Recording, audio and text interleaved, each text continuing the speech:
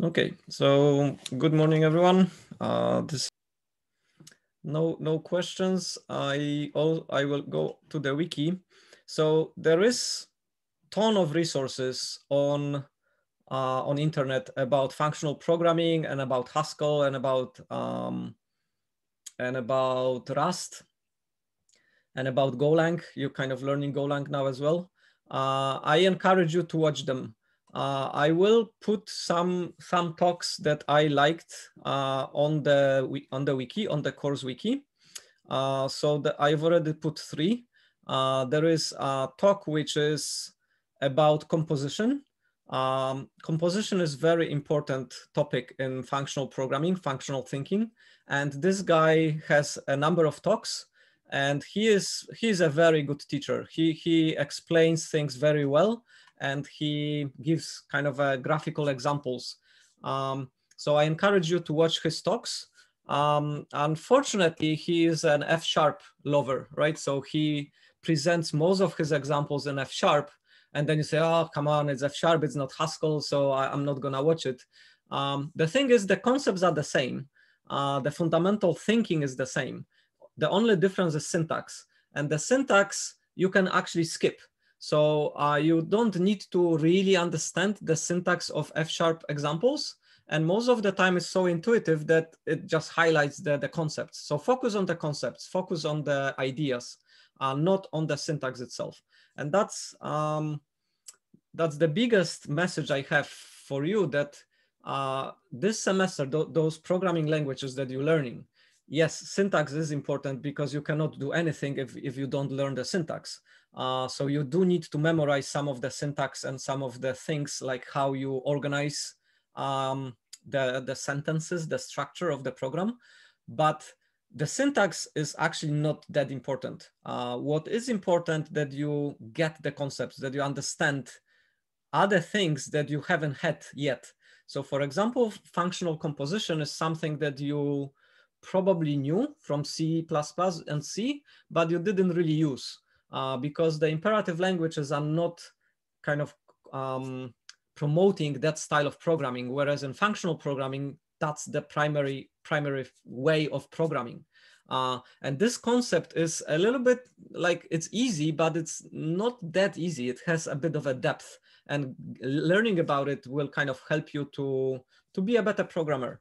Um, so I I know his talks and I I like all of them. Uh, he's a, a, a very uh, good presenter and he gives good examples. So so watch his talks. And then the other one which I posted for next week is kind of a summary of of Haskell.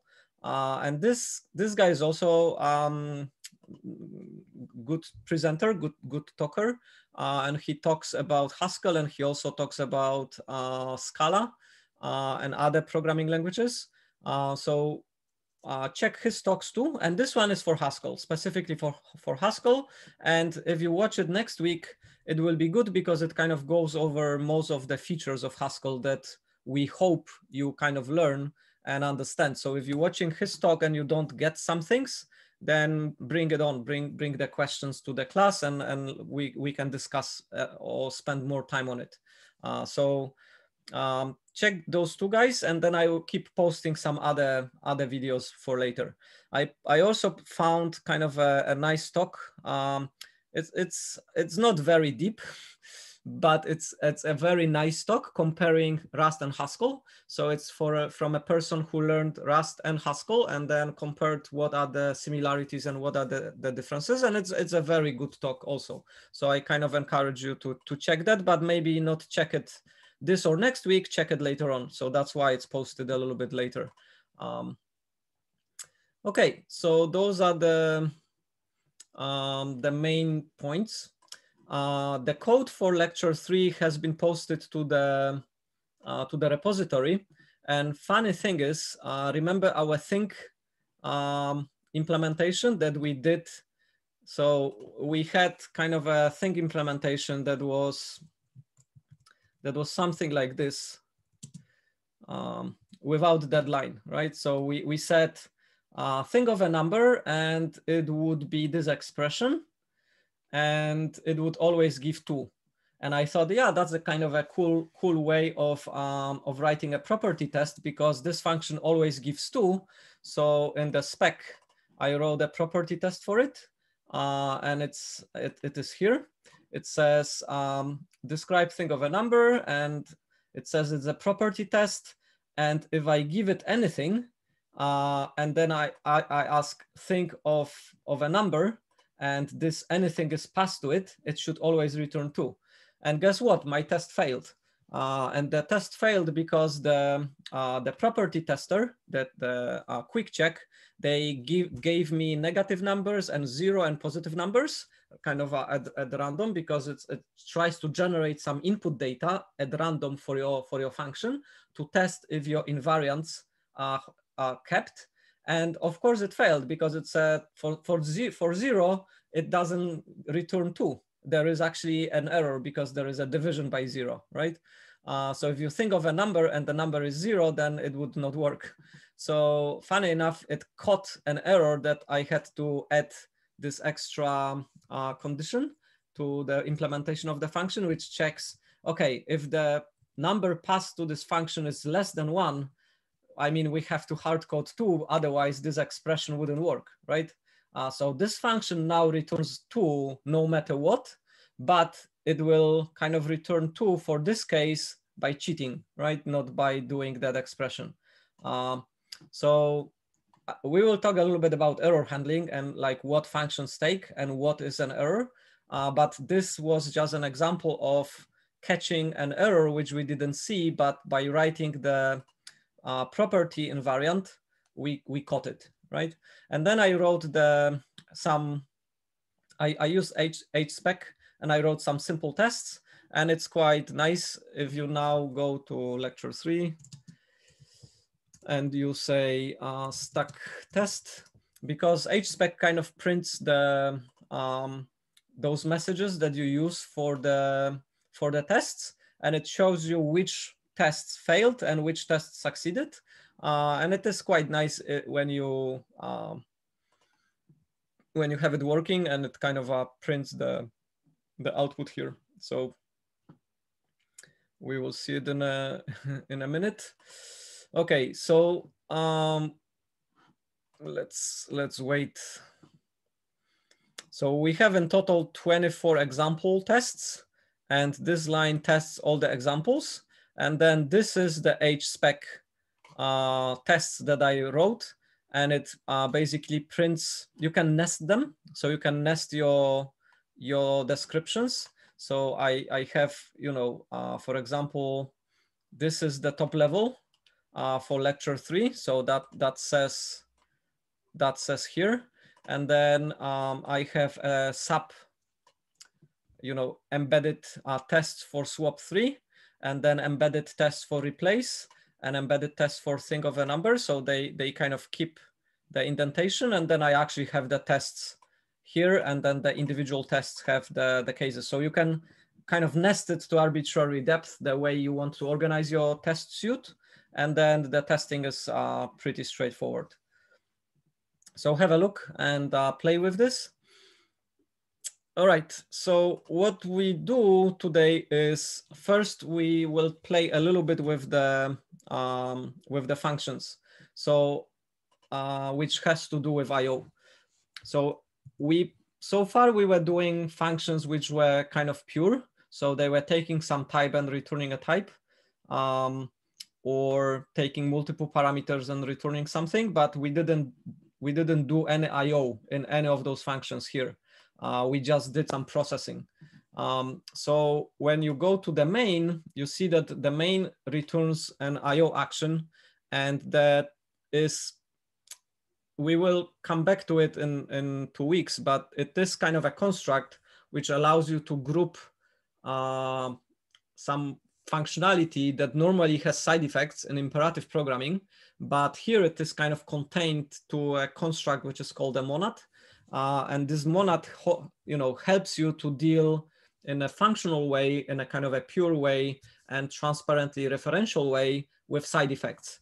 Um, so I will not go a lot in the theory here, uh, but with with monads and in particular with IO monad, we can do kind of imperative programming because you know if I want something to be printed on the screen and then something else to be printed of this on the screen, and the first printing doesn't really return anything, then you know composing it into kind of a functional um, functional code is is possible but it feels kind of weird because what we do, we do basically an Im imperative code, right? So how you do imperative code in, in functional languages. Um, you, you do it like everything else. You have to use kind of functional composition and you have to use the, you know, chaining of the functions. Um, but it feels a bit weird. Uh, so there is a separate notation for doing that. And the notation is called do notation. So do notation is used for monads and it allows you to sequence uh, operations that you want to do in particular order in such a way that it feels like imperative programming.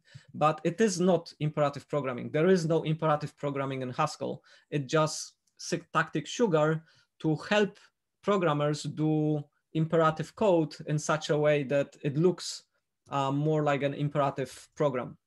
So for example, if we want to print two things. If we want to print um, um, hello, and then we want to print world. So I can do this. And, um, and that will basically do uh, two things. It will print hello, and then it will print world. And then if I want to ask a user for a name, I can say um, uh, get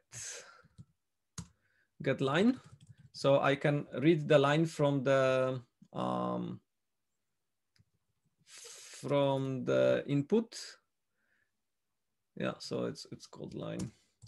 And then uh, I can normally when we want to assign something to to some um, uh, some token, uh, we use the equality uh, sign and we use let. So for example, if I want to declare uh, an n to be a number, uh, for example, three. So I would say let n equals three uh, or four. And then I can print that as well. So I can put string and I can print what n is, right? Uh, n is, is not a, a string. n is a number. So normally I would have to do convert it to a string. So I would use show and then show converts n to a string and then print line prints it. Um, because print uh, put uh, string line expects one parameter, but I'm passing two parameters, I either have to use brackets or I have to use the dollar sign. So we already had that. So let's let me use the dollar sign. And then with get line, uh, if you try to do this, so let's say I want to get a line and um, I said uh, line is um, get line. Um, if this function here returns uh, IO action, uh, and this function, let's let's check it out. So if I go to, okay, so that will not compile. So let me finish with saying put string line um, the end. All right, so now we have we have the whole thing compiling. So if I go to the GHCi,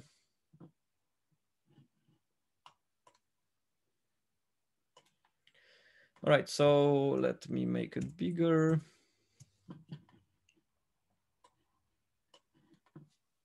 Oops. Okay, so um, if I do main, now it will um, print hello, uh, print the, uh, the world. So it, it does one line, second line, uh, it prints the number as we expect, and then it should ask me for a line and prints this. But as you've seen, it didn't really ask me for anything, right? Uh, it didn't ask me for anything because Haskell is lazy and I'm not doing anything with the line. So Haskell says, well, you know, uh, we can do that. It's an IO action which needs to be done, but because you're not doing anything with it, uh, you know, uh, we don't care. So it kind of goes through and gets to this point uh, without getting hang on in here. So you, you already see it's not really an imperative way because in imperative program, if I said, get me a line from, a, from the uh, terminal, from the standard input, the program will, will block here, right?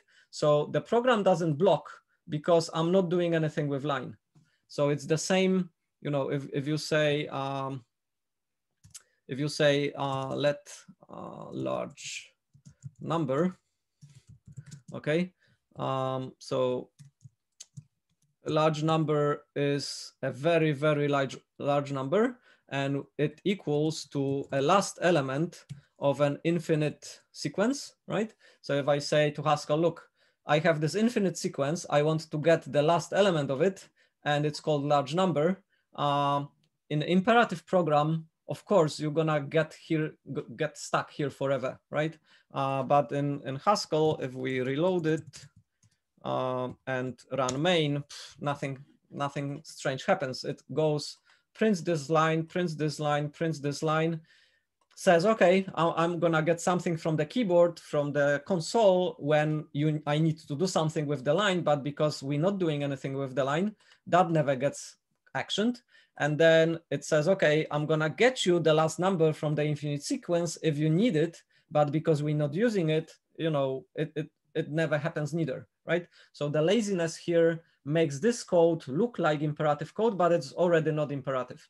Um, Okay, so uh, we don't need the largest number in, in the universe and we um, really don't want an action, uh, but we want, so if I uh, try to show you, so let's say we put string, uh, string line uh, to show what line is. So we're gonna uh, use the line, but um, if I try to show show the line, um, the compiler uh, tells me, look, uh, there is no instance for IO string, right? So if I if I ask what what is the type of get line, uh, it tells me, well, get line doesn't take any parameters and it returns an IO string. So it basically means there is a string which get line returns, but it's wrapped inside this IO monad. Uh, so if I try to show this, it says show doesn't know how to show it because there is no instance for, uh, you know, for that type. So this type IO string doesn't implement the show type class, right? So, and it doesn't have a show method so I cannot show it. And you know, if, if you think about it, I don't really want an IO string. I want the string, which this action gives me. So there is a different syntax for getting something that is inside a IO monad where you're using the do syntax. And this, this syntax is um, the back arrow from the IO action, right? So this syntax means whatever um, this returns, I want to get what's inside of that, of that monad. So inside of that monad, we have a string. So now line will be the string which that line returns, okay? Uh, I hope it, it kind of makes some sense. Uh, so the let would work, but the let would give me the IO action with the string inside it, but I need to extract it out and I am extracting it out using this, this notation. So now if I, and because this is a string, I don't need to show it anymore. I can just print it, right? So um, let's concatenate it with um, you have entered, and then we concatenate those two things. And again, uh, again, this function takes one, one argument and I have two, right? I have this, I actually have three arguments. I have this, this and this. So I have to either use the dollar sign or I have to use brackets. So if I, I can use brackets and I can say all of this is just one single thing and put string takes this, or I can say do everything behind on the right hand side of the dollar sign first So do this concatenation first and then pass it to put string as, a, as an argument. So those two notations are the same. All right, so if we reload it, and if I run main again, now you see it hangs. So after printing four, um, so it prints hello, prints world, uh, prints the four, and at this point it waits for me to return line. Uh, and then I can say Mariusz and press enter. And then it prints you have entered without a, a space. So it says you have entered Mariusz, and then it prints the end. Make sense? I hope it's not too too hard. Um, what else can we do here? Um, I can let's uh, get rid of the printing for. Um, let's for now get rid of the other lines. And how would this look like in a functional style?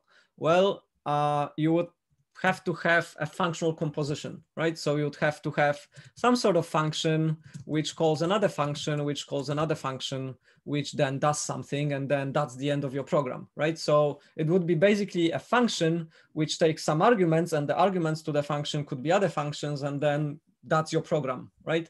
That's what the do notation kind of makes out of this syntactic sugar.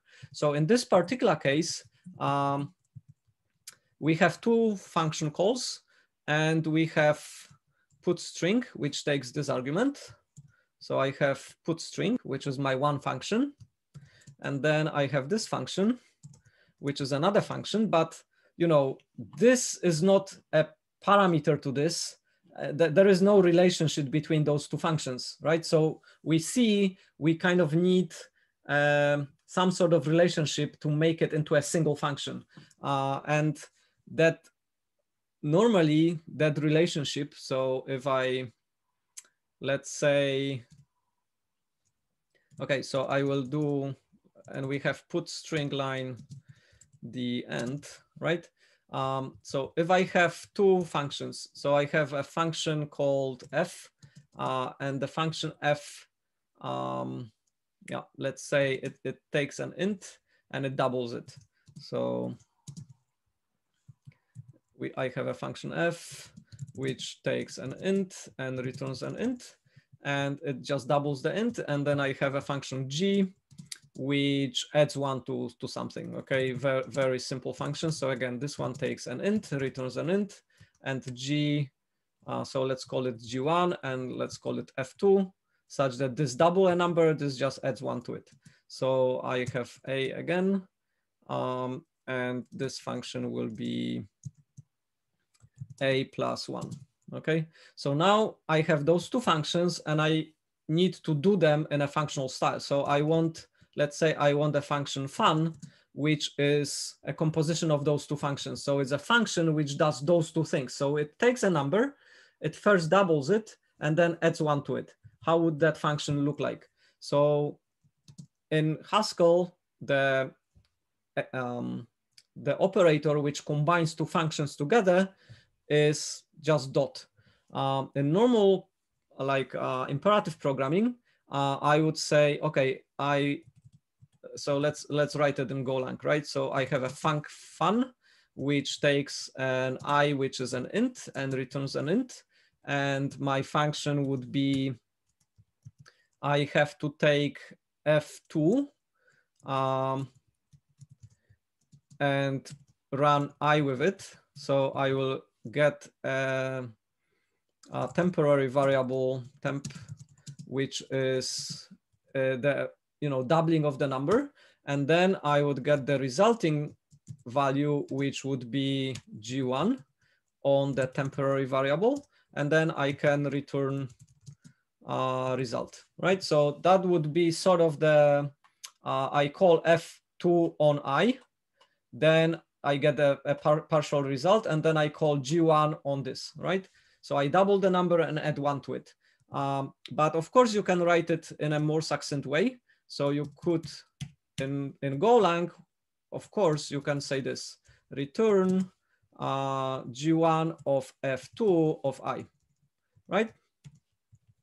So this is your um, this is your function composition. So I'm doing F, F2 first, and then I'm doing G1, and then I'm returning the value, right? So this is kind of uh, the, the same as in Haskell saying my fun equals um, do G1 after you've done F2.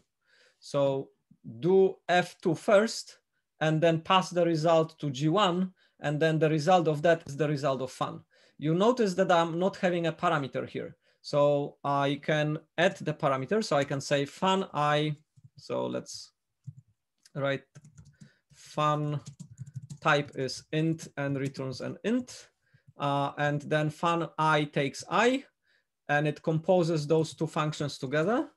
And then it calls them on, on i, right? So um, I have the composition of functions, which make gives me a single function, and then it calls it on i. This is the same. Um, so again, if if you want to write it in a more imperative way, if you think in a more imperative way, what you would do is you would say fun i equals, I'm calling g1 after I've called f2 on i, right? So f2 of, on i gives me a value, which is passed to g1, which is then computed, and that's the result of this function. Those two notations are exactly the same, uh, with the first one being more explicit about the composition of the functions, right? Because I am actually here, I have a single function which takes one argument and returns me the same as this, this composition here. Th th those are exactly the same. Like for the compiler, those two are exactly the same. It just looks, the syntax looks slightly different, right? Um, and because they are exactly the same, and because this function takes one argument, which I have on left-hand side and right-hand side, I can get rid of it. So uh, this is called point-free function declarations. So even though fun takes one, fun, one uh, um, it takes one argument. I'm saying fun actually doesn't take any arguments uh, because what I'm saying now is that fun is a function which doesn't take any arguments and returns a function which takes one argument and returns a, an argument. It takes a number and returns a number, right? Uh, the way you put the brackets in Haskell doesn't matter. So this, um, the uh, the grouping if, if i have you know if i have some type so let's let's have another fun tool which takes um, which takes two numbers and returns a number okay um, so fun tool can be thought of either as a function which takes two numbers and returns a number or as a function which takes one number and returns another function which takes one number and returns a number. Um, so th this is a binary function and uh, an example of a binary function is plus, right? So plus takes um, two numbers, a and b, and returns a, a, third number, right? But if I, if I say this, so um, I can say that I let um, m to be equal to one, one plus, right? I didn't specify the second argument. I just specified the first argument. So now m is a function which adds one to something, right? m, so the signature of m, uh, if I write what is the type of m, is a function which takes an integer and returns an integer um, because I M takes one parameter, which is the missing parameter for the addition and gives me the value. Um, so this, th this is again, um, kind of a fundamental aspect of Haskell and on functional programming about currying. So currying is a way of you um, looking at the function which takes multiple parameters in a way that suits your program uh, such that you don't have to look at functions that always take the same number of parameters. So in terms like let's let's define fun in Golang for addition, and let's say it takes a and b as integers and returns the integers, and it takes you know a plus b and returns me the, the the the value, right? So here we have a normal function in Golang that adds two numbers the same function in Haskell. So I have add uh, a and b, and it's a plus b. And the type of this function is uh, add takes an integer, another integer, and returns me an integer. Uh, and this, those two again are equivalent. Th those are exactly the same. But there is a difference that in Golang, I only have a single function which takes two arguments and that's it. I cannot call in Golang, I cannot say um, I have um, a function f that's add with one parameter. And then I want to say f called with 10, right? So I cannot say that um, my variable x equals f with 10 because I cannot do this. I cannot do partial application of parameters. I can only call it with all the parameters that this function takes. In Haskell, that's not the case. In Haskell, I can call add without any parameters. And then what I'm gonna get is I'm gonna get a function. So if I say, you know, let f equals add, I mean, uh, f now is a function which takes two parameters, a and b, and returns me the sum if I say f is a function that takes, which is like this, uh, that means f now is a function which takes one parameter, which is the missing one from the addition, and again returns me a number.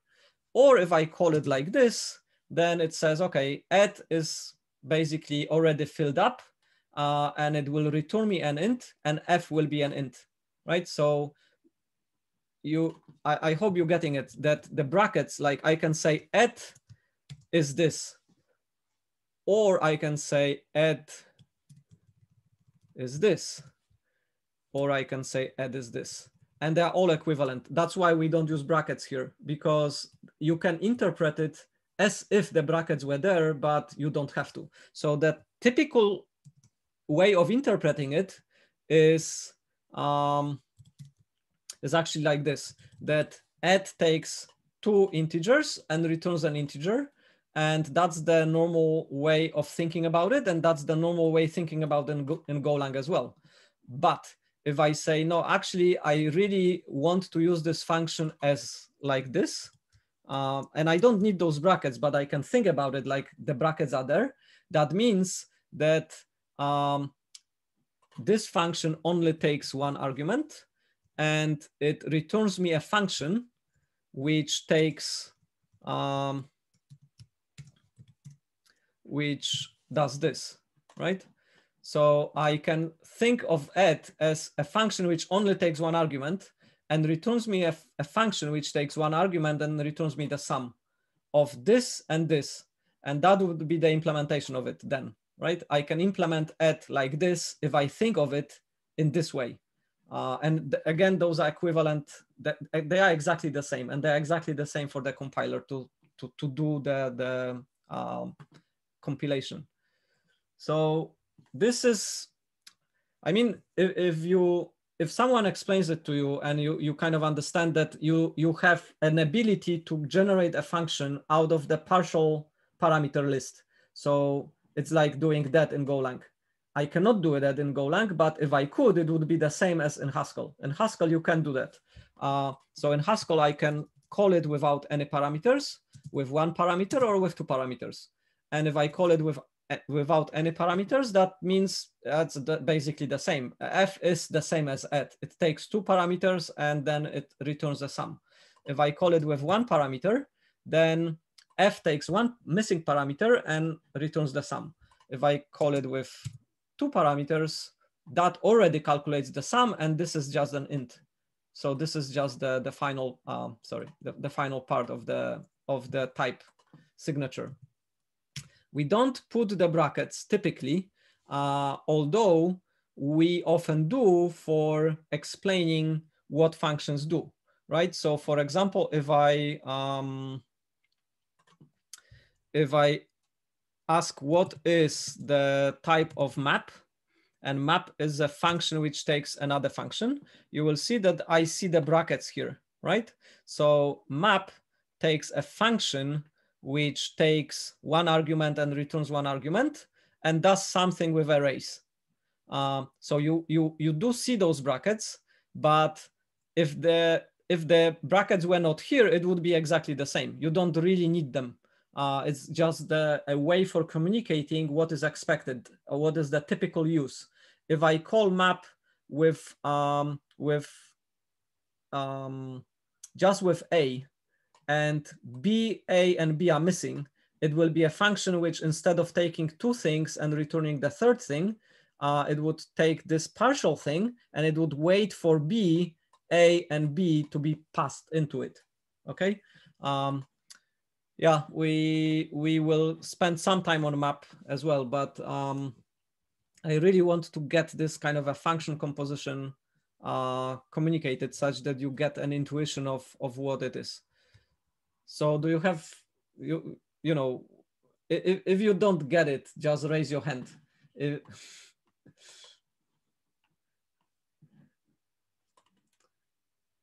in in C++ and in in Golang, we don't have this ability to do this currying so so much. We have to do the currying by adding anonymous functions. So for example, if I were, um, yeah, let's um, let's do it. So I have my fun. I have my Haskell version and Golang Golang version, and now I want to do something like this in in um, in Hask in Golang. Then I need to have um, you know, I have to use an anonymous function to that. I cannot just say add one. I have to say, well, okay, I want to generate a function. So I have to say func, and then this func will take one argument. So I will say it takes b, which is an int. And what it does, and it and returns an int. And what it does, it, it basically um, calls add with um, yeah, so um, yeah, what, what we're doing is we have, um, we want to say f equals at, I want to have a function which just increments something by one, right? So in, we, we're trying to do in, in Golang something that in, in Haskell would be uh, like this, right? So, um, so a plus b that's our normal thing. And now in Haskell, we want to do a function, which is just an increment by one. So we say A1, right? So in Haskell, that, that's what we need to do. In Golang, we have to say, okay, we, we want a function which takes one argument and then increments it by one by saying one B, right? And then this is the, the closure for F. So now F is the same in Golang as it is in Haskell. So the notation in Haskell is kind of a much more succinct.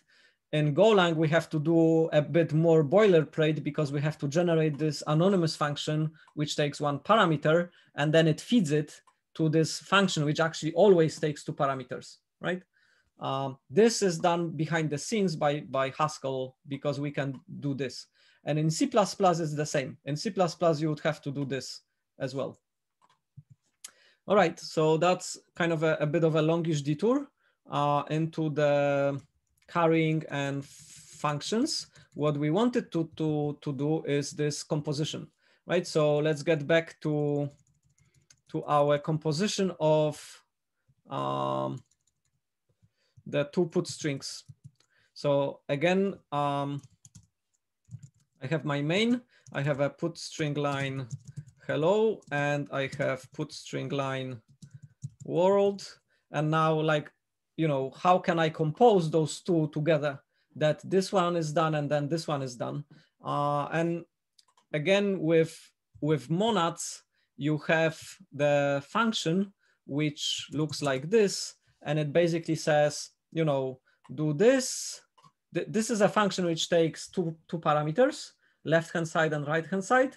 And it basically says, okay, I'm gonna evaluate this, and then I'm gonna evaluate this, and I'm gonna return what this one returns, right?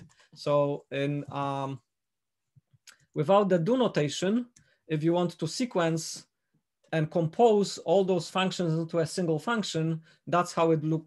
That's how it would look like. And then what you could do is you could say, okay, I want to um, do an expression. So I, I could sequence it with the let expression, which gets me a line and then prints that line. But as you see, that would sort of start looking a little bit, um, so I can have a let expression here. So I could say let line, um, and then to get the line out of the get line is a little bit tricky um, because I would have to use another symbol for getting to extract the line out of the IO string. Because remember, get line gives us IO string. Uh, so this is already quite cumbersome to, to be done here. Uh, you can do it, and this do, uh, do notation kind of converts into something like this, but you don't need to kind of deal with it because you do have this do notation, right? So you can do sequence of operations using the, the do notation instead. Uh, and you can think of this as kind of a composing the or sequencing the functions together. We, we will talk a little bit more about this later as well. All right, so there is certain complexity to, to deal with those with all those concepts and like not everything can be taught at once. So if you get kind of just some intuitions and some ability to use it, then that's enough, okay? So the you know abilities that I want you to, to do here is that you can print stuff to the screen, you can get stuff out of the uh, console, um, and then you can do something with the with the strings. Um, so you can um, yeah you can print it right.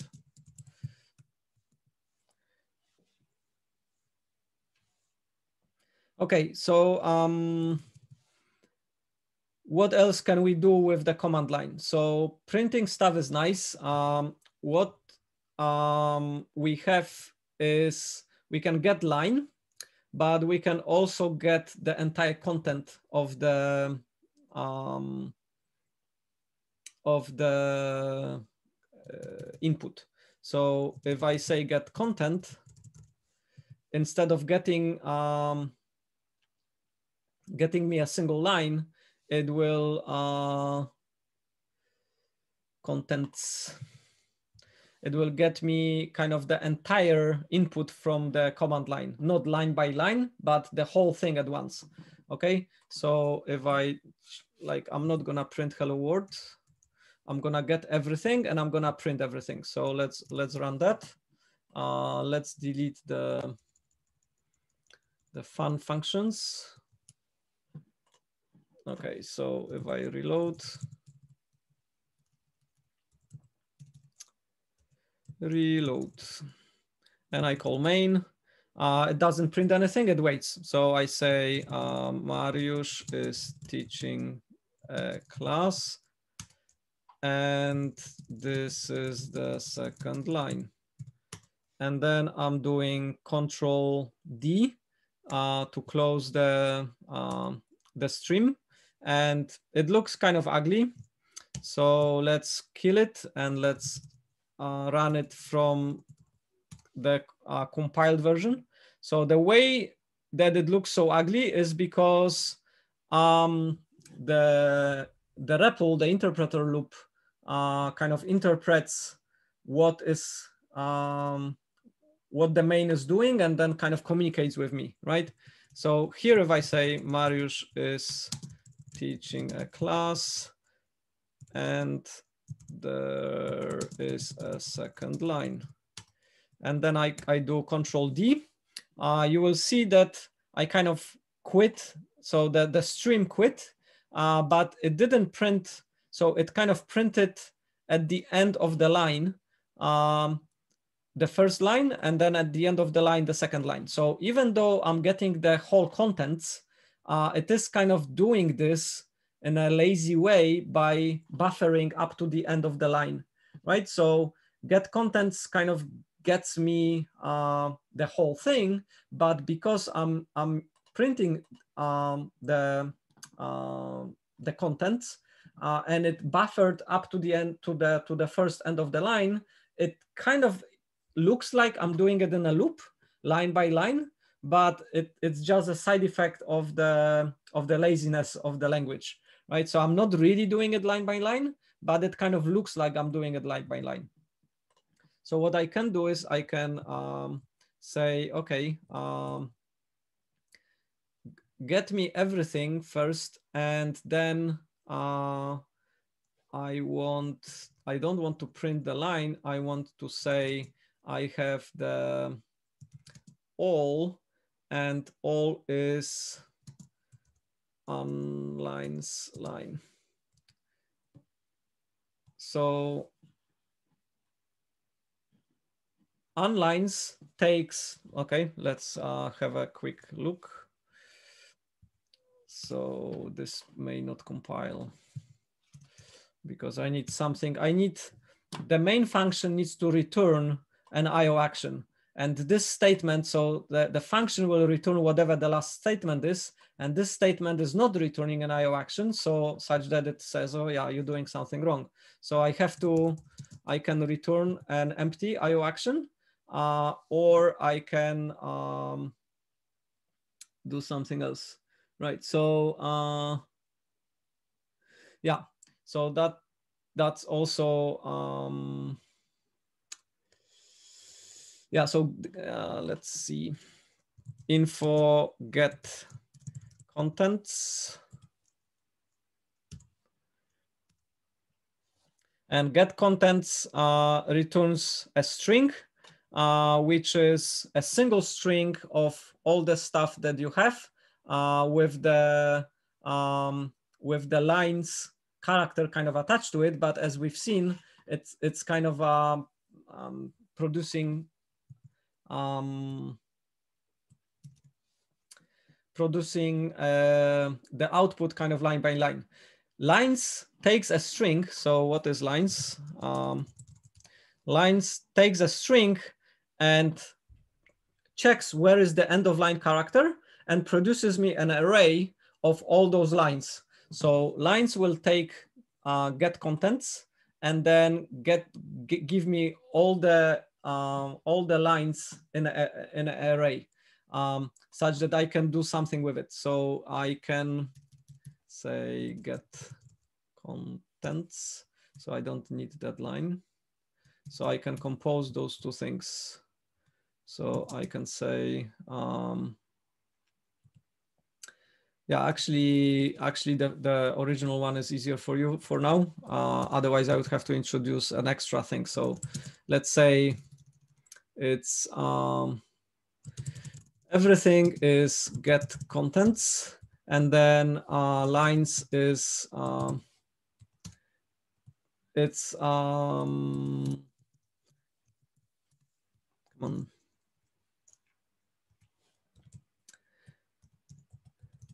So this will give me a, a list of all the lines which I have in my program, right? So list of lines. And then I can um, try to print it. So I can uh, print list of lines. Okay, so let's try to reload it and call main. So now main is waiting. Uh, yeah, so again, I uh, it's a little bit awkward to play with it in the uh, REPL. It's better just to run it. So let's run it. And then if I start typing, so I say Mariusz, okay. Mariusz has a class that is second line. Okay, so now as you see, it didn't give me any output line by line. It waits for the the entire end of the stream. So uh, this is the final line. And then if I press Control D, that's the end of the stream. And then the processing will start. And the processing will start and it says, uh, Mariusz has a class, which is the first line. And that's the second line. And this is the final line. So it split all the input into lines and put lines in my list one by one, okay? Uh, so I have the first line, second line, and last line, and the end of line characters are gone. So if I uh, run it again, and I say Mariusz, uh, Charlie, and then I press enter a couple of times, empty, empty lines, and call it, kill it with Control D, you will see that empty lines are represented as empty strings, right? So uh, I have the first line, second line, third line, fourth line, fifth line, and that's it. I had five lines kind of entered. All right, so you, you kind of get contents and how it buffers line by line and also how you can convert it into, um, into lines, like a list of lines. So if we take this list of lines now, um, we can uh, do something with the lines themselves. So I can, um, I can, for example, um, take the, I can, uh, so let, let's say I want to um, split. So I have now line by line and each line has some words and I want to split the, the line into individual words. So let's go back to, to our simpler version. So let's read the, the um, just the first line, okay? So if I get the line, so I get line, and now I have a, a text, which is my line, and I want to split it into list of words, right? So I want to split it into a list of, of words let and this is just command which is called words so i can say uh, my list of words is words out of the line. So that if i when i say uh, print uh, put string length list um, list of words and i will not put string i would just say print. Then um, if we run it, so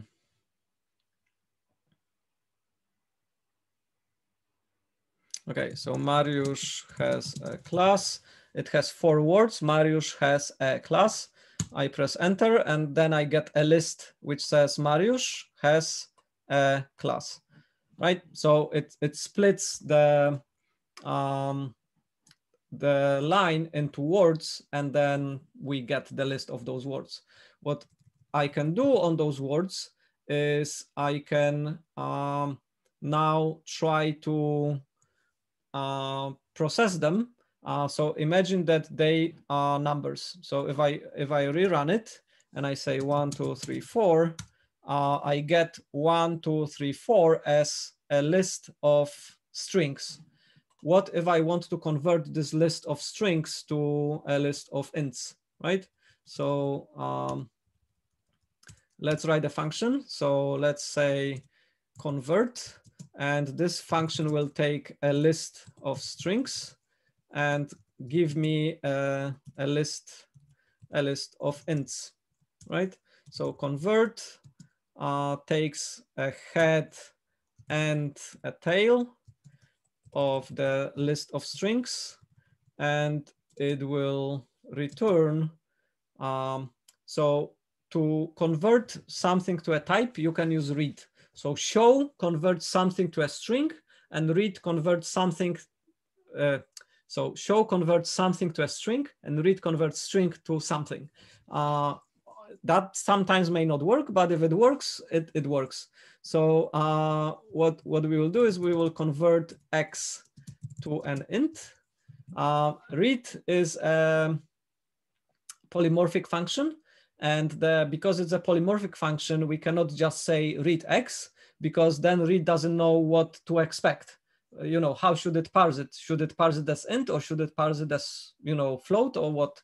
Um, if we tell it parse it as int, it will fail if the input is not int. Otherwise, it will give us an int. And then we need to con uh, concatenate this with convert the rest of the list, right? So we have a, a simple conversion function, which takes a list of strings and converts the head, the first, mm, first element into an int, and then converts the rest uh, because it's using the um, recursion, we have to say convert of an empty list is an empty list such that we have an end condition, right? So now if I, uh, yeah, so it says we could do the same with a map, but I, I wanted to show you the recursive version first. So now if we if we run it and I give it uh, one, two, three, four, like we did before. So I'm gonna call it with one, two, three, four, same as before. Um, one, two, three, four. I press enter. Uh, yeah, we didn't converted it. So uh, let let list of ints be converted list of words, right? So we converting list of words into the list of, of ints. So if I run this time, I what I want is I want to have a list of ints, not a list of strings. Um, so then one, two, three, four. I'm printing the wrong thing, list of words. List of ints, okay. One more time. All right. So one, two, three, four, and voila, we have uh, a list of ints instead of the list of strings, right? Uh, that's great. There is a simpler way of doing this conversion. So when I have my, um, you see that all I need to do is I need to call this function on each element of the of my list. And we've seen before that there is a, a map function which takes a, a, function which converts something to something else applies it. Um, yeah, let's let me show you how map looks like. So map. So how maps works is like this. Um, it takes a function which converts type A to type B. So it takes, you know, a single element and converts it from A to B. And then it takes a, a list of A's and converts it to a list of B's, right?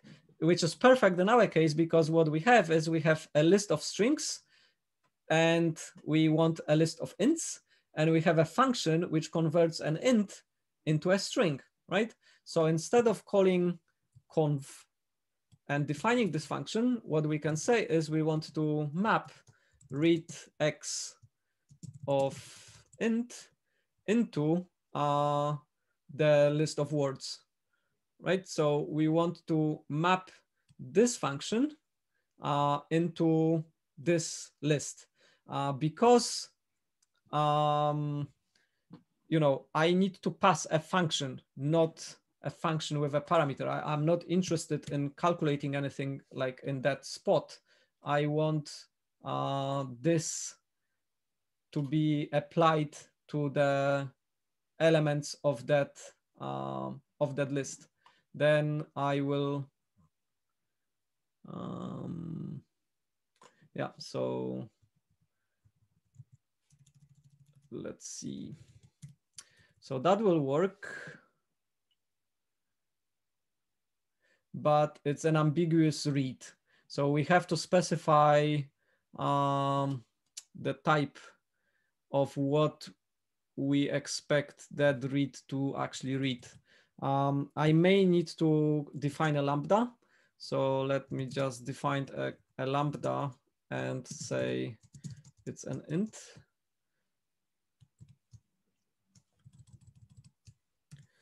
Um, so I have now a function which takes a single argument and converts an um, a string into an int, and this function is being mapped over the list of words, right? Uh, because I have to do this type thing, I, I, I have to have the lambda function. So what is lambda? Lambda is kind of like an anonymous function. Uh, you do have anonymous functions and lambdas in C++, in Golang and in, in Haskell. In Haskell, they use this kind of a slash notation, which is followed by parameters, which is followed by the uh, definition and then um, the defi definition of the function, right? So this is what the, the lambda returns. You don't need to specify the types of the lambdas because the compiler will kind of infer it. And then if we do that, then we can delete this and then we have the same um, yeah, let me quit that. Let me run this. We, we basically will achieve the same result without this extra definition of the function because we kind of inlined the, the logic of reading the elements in here. So if I say one, two, three, I get one, two, three as numbers.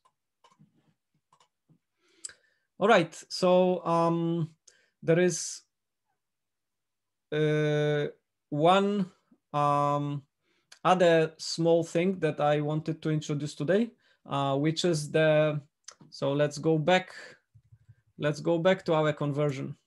So this conversion can fail, right? So if I run it, ah, uh, crap, uh, that may not, uh, no, it will compile. Okay, so if I say one, two, three, it works. But if I say one, two, mama, it says, oh, I don't know what you're talking about. Uh, no parse, which means that line which reads an int crashed, right?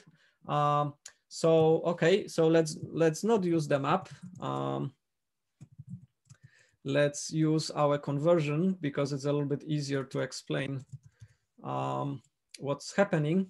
Uh, so our conversion converts strings into ints but um, let's change it in such a way that it takes a single string and converts it into a single int, okay? So um, if the string is empty, um, we have to decide what should, what should we do, right? So first of all, we have to decide what to do if the string is empty, what should we return? And second of all, we need to decide, um, so now I, I just have X. Then I have to decide uh, what to do if this fails, right? So um, yeah, so I have my uh, conversion. Um, I have a case which is an empty string. Uh, what should it return? And then I have a case where I have something, but this can fail. What should I do? Uh, in Golang, um, so in Golang, what, what you would do is you would say, okay, I have a conversion function. So I have a func uh, conversion and I want to convert from uh, s, which is a string, into an int.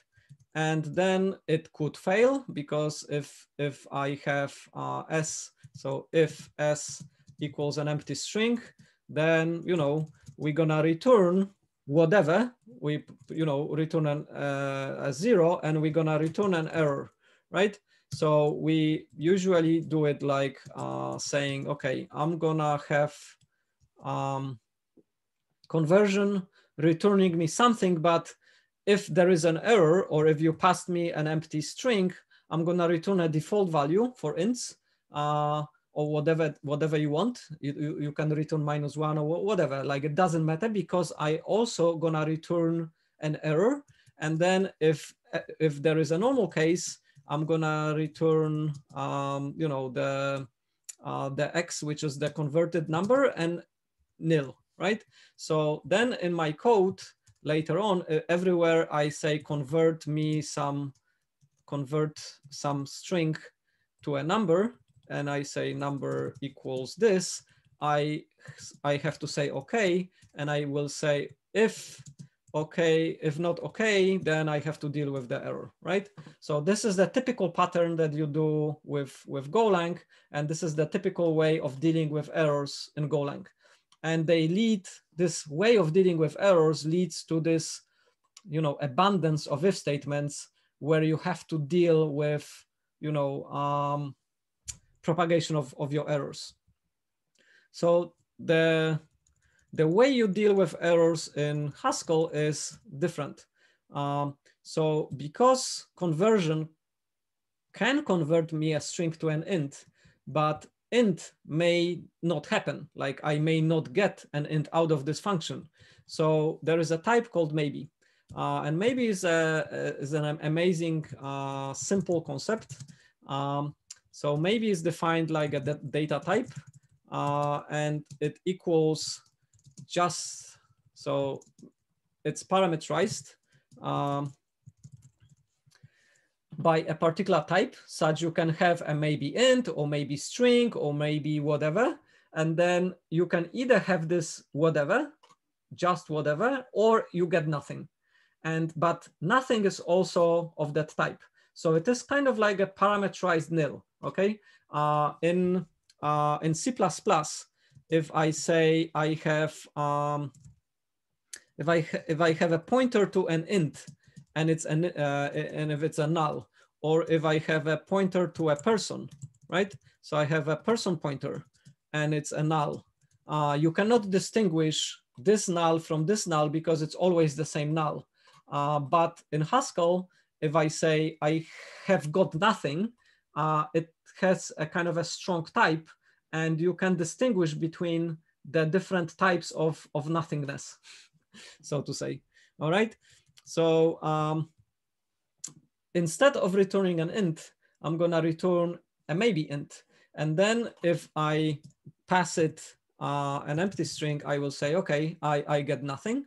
Uh, but if I pass it um, this, I will get just, just, just the, um,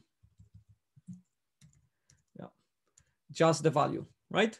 So now um, when we do this conversion, uh, so now I change the conversion to be not a list of strings to a list of ints. I just have a simple function of string to maybe ints. And now we can map it.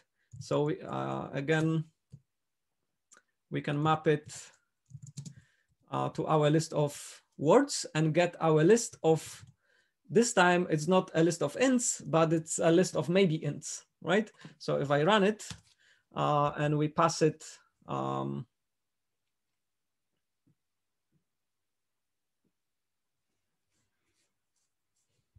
we pass it one, two, three. Um, okay, so yeah, one, two, three, it's gonna give me just one, just two, just three. If I say one, two, uh, whoops, let's run it again. So if I say one, two, three, mama, four, five, uh, yeah, so that, that blows up because I, I haven't changed the reading. So um, read still tries to read it into an int and then it blows up if uh, int doesn't happen. But there is a, a nicer version of of read, which is called read maybe. Uh, and read maybe uh, returns a maybe maybe types. Uh, and that means I can get um, uh, let's see. Yeah, it's defined in the text read. So I have to import import text read and maybe read uh, will return me a, a, maybe int if there was no error, or uh, it will return me just an int if there was no error, or nothing if there was an error, right? So let's uh, let's rerun it. But before I rerun it, um, let me define a new function. So let me define. Um, so let's let's change it such that I have a function called uh, process line. And the process line takes, takes a string line and gives me a string line. And uh, the, the, the definition will be process line takes a string s and it does this. So it takes, it splits the S into list of words. Uh, so we need to have a let expression. So we need to rewrite it to let expression. And then it's gonna convert it and it's gonna uh, in return return me this string, okay? And then in our main, we will change it such that main uh, equals, and there is a, a nice function called interact, which takes another function, which takes a function string to string, uh, process line, and then feeds line by line into the process line such that we can get kind of a more interactive processing done line by line. So let's um, let's run it.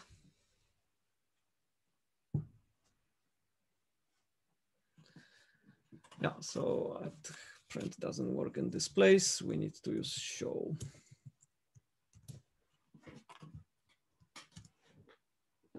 Yeah, I have um, I have a call. Just give me a second.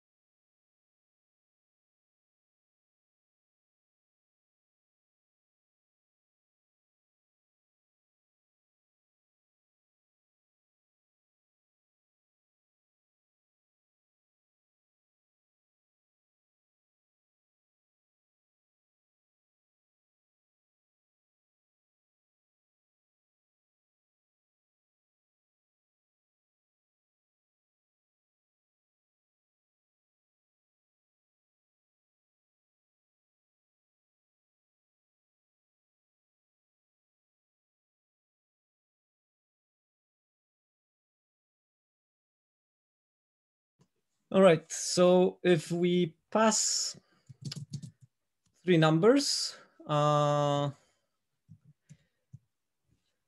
we gonna get the just just the numbers. If we pass it, uh, if I pass it with an error, then for the error places, I'm gonna get nothing but the list is still of the same type. So, you know, you cannot hold multiple different things in the list um, such that we cannot mix like say text and numbers. But in here, I just have a list of just ints of maybe ints. And then every time I, I do a correct processing, I have just one. And every time I got an error, I have um, I have the nothing for it, right? So we have kind of a useful, two useful things. Uh, here we have the map, which we can use to map a function over something. Uh, map is, you know, present in other programming languages like JavaScript and and uh, Python and, and so on. It's not a very unique to Haskell, but it's kind of a very useful useful function. And Another useful function is um, filter. So filter takes um, a Boolean function and keeps the element in the list if the Boolean function gives true and removes it if the Boolean function does uh, um, does uh, false. So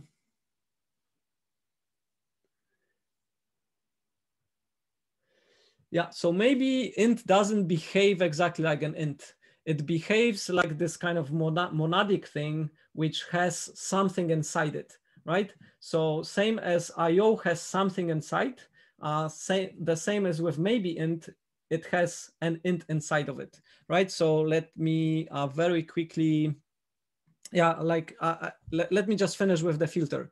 So uh, what we want is we want to filter out all the nothings from here and just keep the um, the the list. So with filter, what we could do is we could say uh, filtered uh, list uh, let's call it filtered list of ints. okay, and uh, what we can do is we can call filter, and then we would need to have uh, a lambda. So it takes an x, uh, and the x has now two possibilities. Uh, it's either nothing, or it is um, just something, right? So what we can do is we can say case of x of, and if the x is of nothing, uh, then return, um, yeah, so we uh, return false. And um, if it's just, just something, returns true. And that may work. I'm using the semicolon such that I can have everything in one line. Uh, normally you would sort of split it, but let's see if that works. And then I filter the list of ints into this new list. And this is our filtered, filtered list of ints. Uh, let me see if that works. So in Haskell, you can uh, use uh, curly braces and semicolons to block, to um, organize your code the same way as you would in C++. But normally we split it and we kind of use this Python-like notation with the alignment on the columns. So now if I say one, two, three, mama, okay, uh, you see I, I just got one, two, three, but mama is filtered out. So let's run it again. So one, two, ABC, three, oh, three, four, five, some other errors, six, seven. Um, then I only get just one to seven, but I have all the errors, all the input which was not number filtered out. Okay, so there was a question if, if maybe ints behave the same as, as ints. Uh, let's go into the um, the REPL. So if I say A is uh, just one and B is just two, I cannot say A plus B. Uh, this I cannot say because just types are not numbers. Uh, we will talk ab uh, about it next week. Um, and we will talk about how to deal with the values which are wrapped in some context. In this case, we, we are kind of, we have values wrapped in the context of just, right? Because I, I also have C, right? So if I have C and C is nothing, uh, then um, A is just one, B is just two, and C is nothing, and they are all of the same type. I could say A plus C, right? What should happen when I say A plus C? uh, what, what, what should be the result? Well, the result should be probably nothing because I cannot add one to nothing and get something. I, I probably have nothing, right? So there is a way to do that. Um, I can give you a spoiler. Uh, the spoiler is by applying the plus, uh, but using kind of um, a different notation for the plus operator. So I would say, okay, apply plus to values which are maybes maybe something. Uh, and A and C are, are maybe values.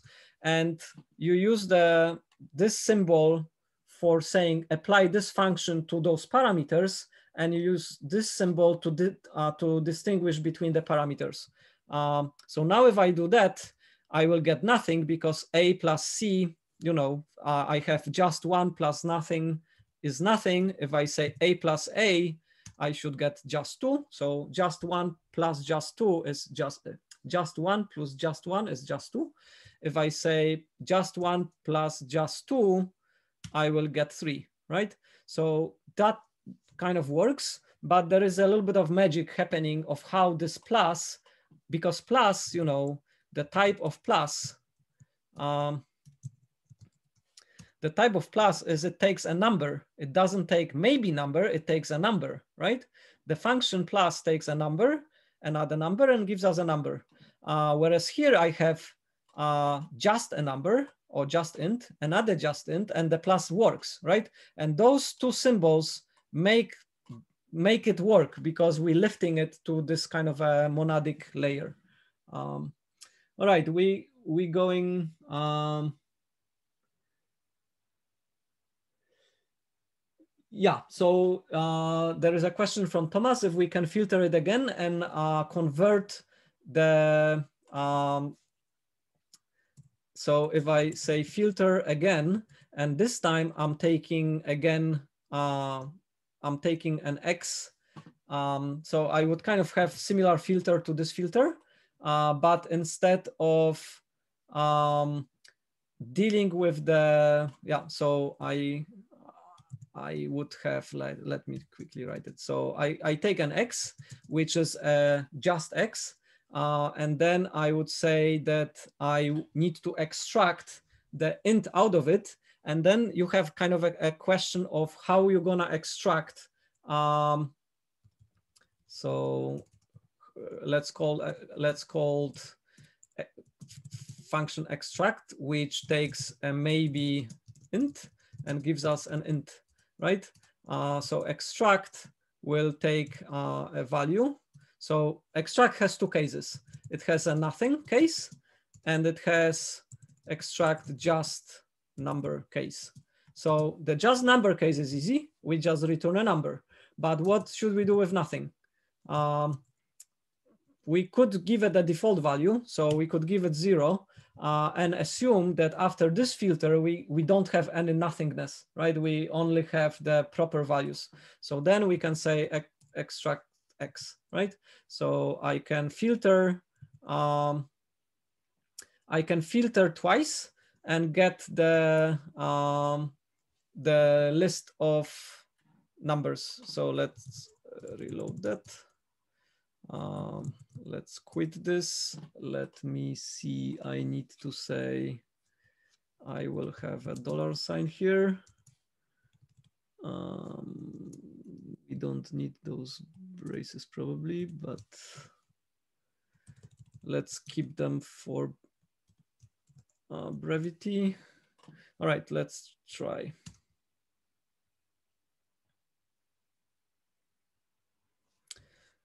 Uh, X.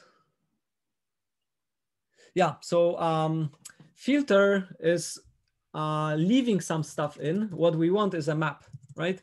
We don't want to filter stuff out of the list and keep it smaller by removing elements. We want to convert it to a different list.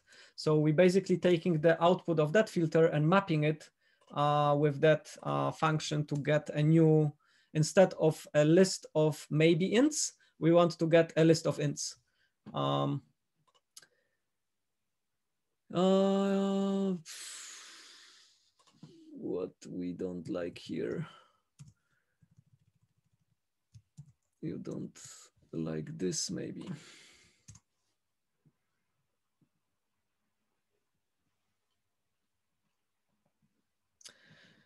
Yeah, sometimes the error messages, like the error messages about nothing, but there is nothing wrong with this line.